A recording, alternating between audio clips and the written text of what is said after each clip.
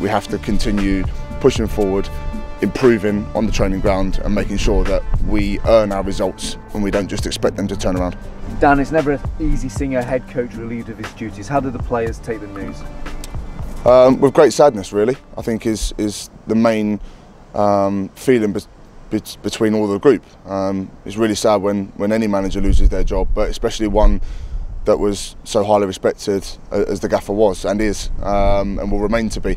Um, I think as players, obviously, we have to take a degree of responsibility for for, for, for the gaffer losing his job. Um, obviously, we're the ones that go on, on the pitch and, and try um, and enforce what we've what we've been told to do in, in pre-match briefings and what we work on on training ground. And if we haven't executed that as um, as correctly as, as possible, um, I think there's there's a certain certainly a degree of responsibility that, that lies with the players, and, and I for one certainly take a degree of that myself.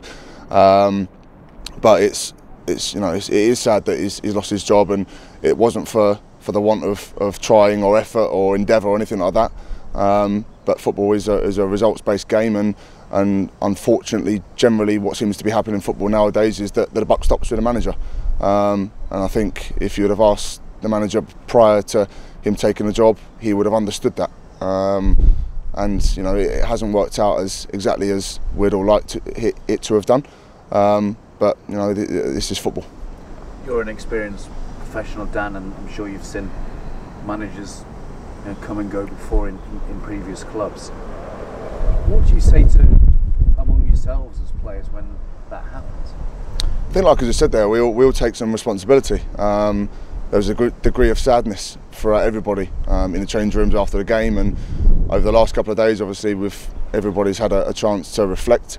Um, but it's you know it's, it's, swiftly moving on to the next game, and I think we'll, we'll all be looking to go out and, and give a response. Um, and, and, do that possibly for, for, for Dino um, and give the, the kind of performance that warrants us respecting him as a manager, um, which we all do. The change was made obviously for, for a reason. Um, can that now have a galvanising effect for you as players that fine the Dean Holden time has ended and now you've got to kind of kick on? I think it has to. I think there has to be a response. Um, there had to be a response regardless of whether the manager kept his job or not. Um, you know, obviously we all wanted him to keep his job.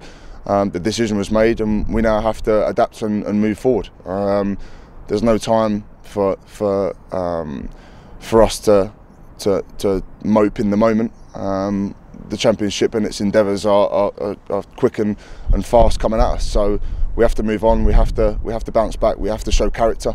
Um, and like I said, we, we have to go in and put a um, we have to go in and put a performance on Saturday, um, and one that warrants that of of the you know the last six seven games haven't been good enough.